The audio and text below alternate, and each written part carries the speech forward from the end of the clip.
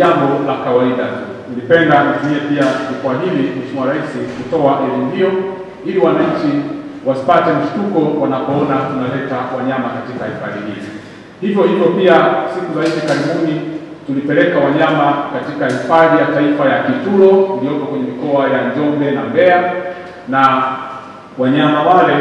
wapo katika eneo lile ili kuongeza uh, uzuri wa hifadhi ile, na wanafanya vizuri na wamekwisha zoea katika mazingira yale. Na jambo lingine Mheshimiwa Rais, ambalo napenda kulisema ni kwamba kwa wasiojua na wale makalomo njoto wasiolitakia mema taifa letu kwamba wewe ndiye mhifadhi namba moja, leo Mheshimiwa Rais unatuma ujumbe wa moja kwa moja kwao kwamba uh, huna mzaha na uhifadhi wa maliasili zetu, na wala hatuhitaji mtu kutoka nchi yoyote ile kuja kutufundisha uhifadhi wa maliasili, kwa sababu Mheshimiwa Rais ulipotia nia ya kuwekeza katika mradi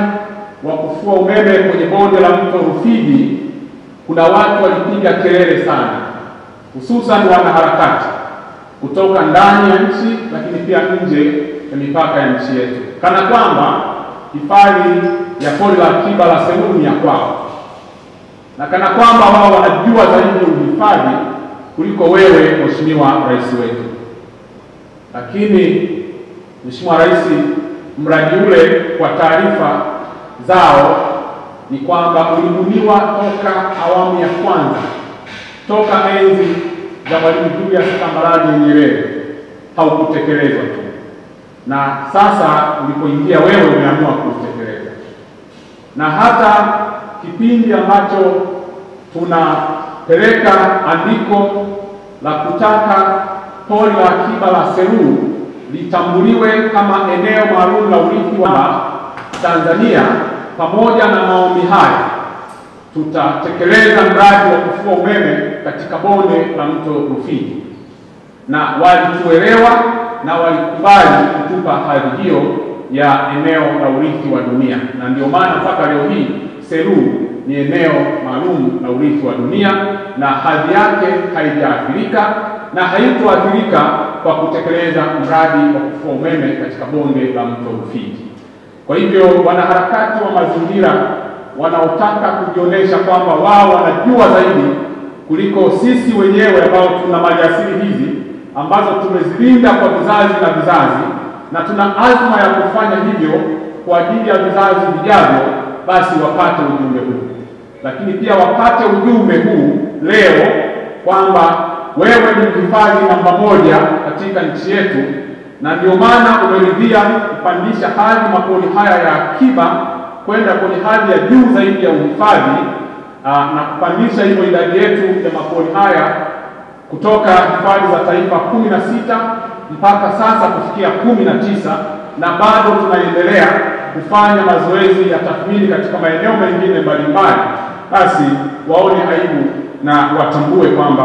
uh, wewe ni hifadhi namba moja na hauna mzaha kwenye jambo hili na Mheshimiwa Rais wakiendelea kuleta chokochoko kupitia mawakala wao mbalimbali wa kisiasa wa harakati, tutaanza nao sisi kabla hata hawajafika kwao,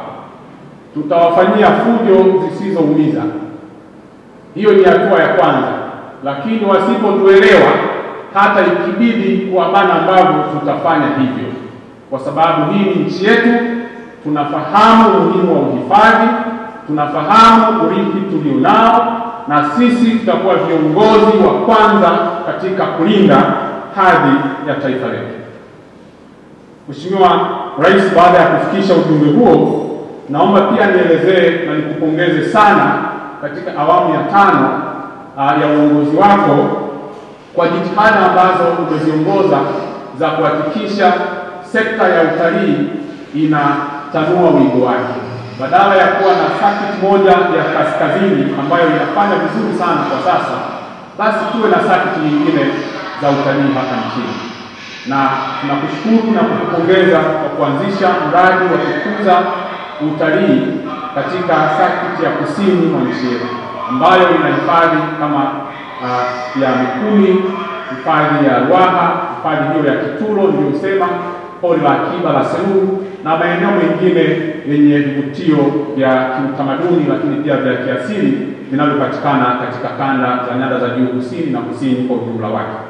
Lakini pia Mheshimiwa Rais kwa kuamua kwa dhati pia kuifungua sakiti ya kaskazini magharibi mwa nchi yetu ambayo leo itaanza kubebwa na hifadhi ya taifa ya Bonde Kichato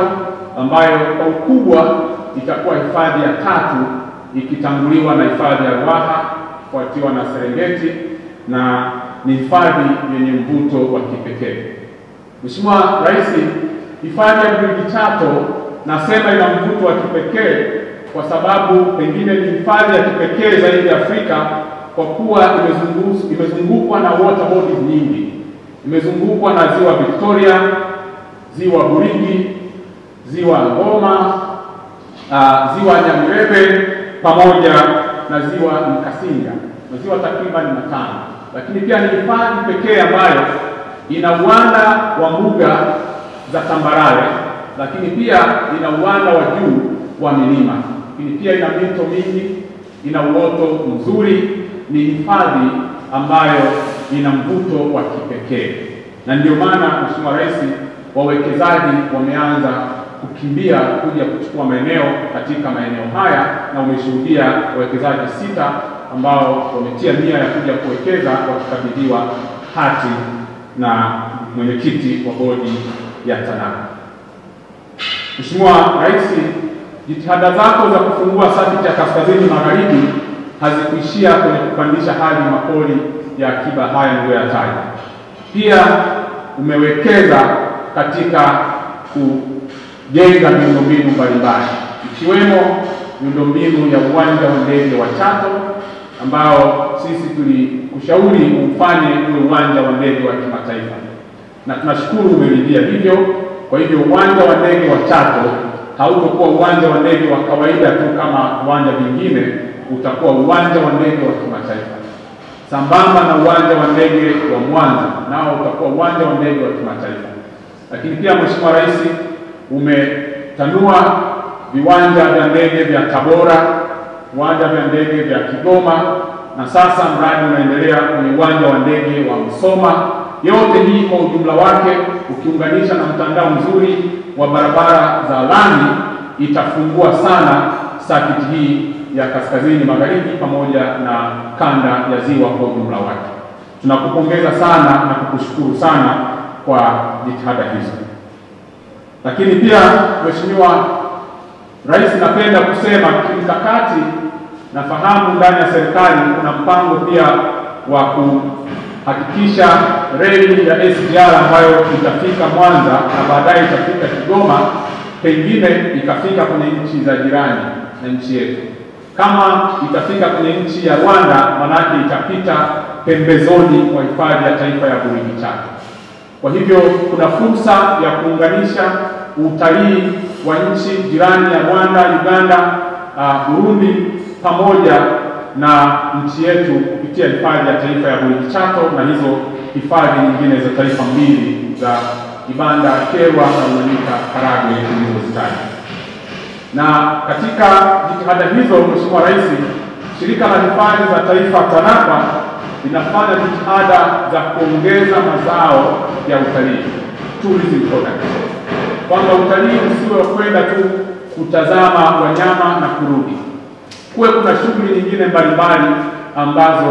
zinahusiana moja kwa moja na shughuli ya utalii. Tumeona tuanzishe utalii wa fukwe katika ziwa Victoria na tayari shirika la hifadhi za taifa TANAPA linajenga kivuko ambacho kitakuwa kina uwezo wa kupakia magari kati ya manne mpaka sita, lakini pia abiria wasiopungua mia moja. Lakini pia tunajenga magati katika vijiji mbalimbali ikiwemo uh, vijiji vya Kasenda, Mganza na Katete ili watalii waweze kuunganisha hifadhi hifadhi hii ya taifa ya Burigi Chato.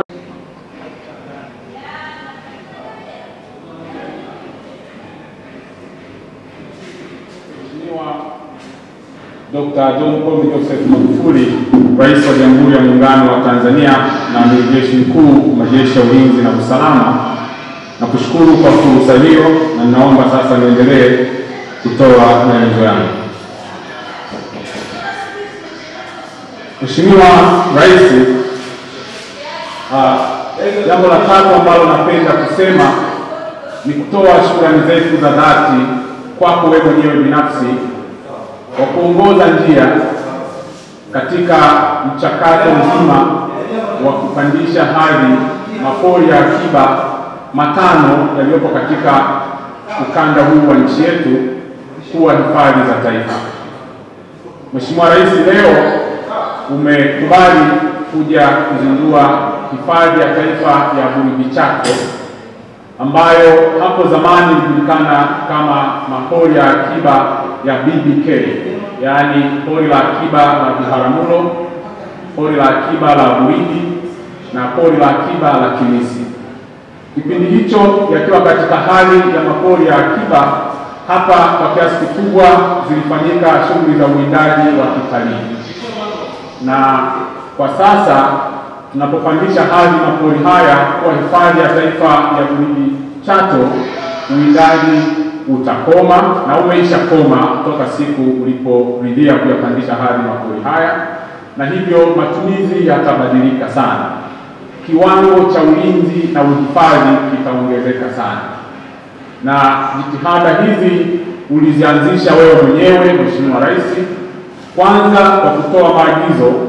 kwa Wizara ya Maliasili na Utalii, lakini pia na wakuu wa mikoa pamoja na wakuu wa wilaya ambayo ambazo zinaunda mikoa hii miwili ya Geita na Kagera uh, kufanya operation ya kuondoa wakimbizi ambao walikuwa wamevamia katika makundi haya ya akiba, lakini pia kufanya operation ya kuondoa mifugo ambayo ilikuwa imejaa katika makundi haya, na operation hizo Mheshimiwa Rais zilipata mafanikio makubwa, uoto wa asili ukaanza kurudi, na sasa tunaanza kuona hata idadi ya wanyama pori inaanza kuongezeka. Katika kipindi ambacho uvamizi ulikuwa umetamalaki katika mapori haya ya akiba, Mheshimiwa Rais, wanyama wengi sana walianza kutoweka. Wanyama kama sitaunga walianza kutoweka, lakini leo toka tumepandisha hadhi mapori haya, sasa idadi imeanza kurudi. Mheshimiwa Rais, naomba nitumie nafasi hii kuwashukuru sana viongozi wote wa mikoa hii pamoja na kamati zao za ulinzi na usalama, hususan wakuu wa wilaya tano ambazo zinazunguka mapori haya yaliyokuwa mapori ya akiba na sasa ni hifadhi ya taifa ya Burigi Chato na ninaomba nizitaje wilaya ambazo ni wadau wakubwa wa maeneo haya. Nazo ni wilaya ya Biharamulo, wilaya ya Chato, wilaya ya Ngara, wilaya ya Karagwe na wilaya ya Mleba. Wilaya hizi zinapatikana katika mikoa miwili ya Geita na Kagera na kwa namna hiyo, Mheshimiwa Rais, ninaomba pia nitumie fursa hii kuwashukuru sana wananchi wote wa wilaya hizi tano kwa kutupa ushirikiano mkubwa sana wakati tukiendesha mchakato wa kupandisha hadhi mapori haya. Maana zoezi lile ni shirikishi, lilianza na uhakiki wa mipaka, lakini pia kutoa elimu kwa wananchi lakini pia kuongeza nguvu ya askari wa uhifadhi wa wanyamapori katika mapori haya, na kwa kweli, Mheshimiwa Rais, wananchi wa maeneo haya walitupa ushirikiano mkubwa, na leo inadhihirishwa kutokana na mahudhurio yao katika shughuli hii ya uzinduzi rasmi ambayo Mheshimiwa Rais umekubali kuifanya. Mheshimiwa Rais, hatua uliochukua ya kuunganisha mapori matatu ya akiba ya Biharamulo, Burigi na Kimisi kuwa hifadhi ya taifa ya Burigi Chato, lakini pia kutangaza pori la akiba la Ibanda kuwa hifadhi ya taifa ya Ibanda Kyerwa na kutangaza pori la akiba la Rumanyika Orukundu kuwa hifadhi ya taifa ya Rumanyika Karagwe inaongeza kiwango cha ulinzi wa hifadhi hizi. Kama unavyojua, katika hifadhi za taifa hakuna shughuli nyingine zozote zinazoruhusiwa isipokuwa tu utalii wa kuangalia wanyama na kupiga picha. Kwa vyovyote vile, ulinzi katika hifadhi za taifa ni wa hali ya juu zaidi. Tunaamini kwamba sasa idadi ya wanyama katika hifadhi hizi za taifa itarudi katika kiwango chake cha awali kwa kasi zaidi. Mheshimiwa Rais, Wizara ya Maliasili na Utalii katika kuongeza jitihada za uhifadhi lakini pia kukuza utalii katika maeneo haya, tutafanya na tayari tumekwisha anza kufanya mazoezi ya kuhamishia baadhi ya wanyama ambao kiasili walikuwepo lakini wakatoweka kutoka maeneo mengine ya hifadhi zilizopo nchini kuja katika maeneo haya. Na siku za hivi karibuni tulifanya zoezi hilo, na wananchi baadhi wasiotutakia mema walipiga kelele kidogo. Naomba nitumie jukwaa hili kuwapa elimu kwamba hili ni zoezi la kawaida, sio jambo la ajabu. Tumelifanya siku za nyuma na tutaendelea kulifanya kwa sababu uh, kisayansi tunajua katika mapori haya, kwa mfano hapa kulikuwa kuna faru, lakini leo wametoweka. Kwa hivyo tunajua aina ya faru waliokuwepo hapa na tutafanya jitihada za kuwaleta, kwa sababu tunajua haya ni makazi yao ya asili. Kwa hivyo kufanya hivyo sio jambo la ajabu, ni kazi ya kawaida kabisa ya kisayansi ambayo hufanywa na wahifadhi duniani kote. Lakini pia hata mwaka huu Mheshimiwa Rais tutapokea faru kumi ambao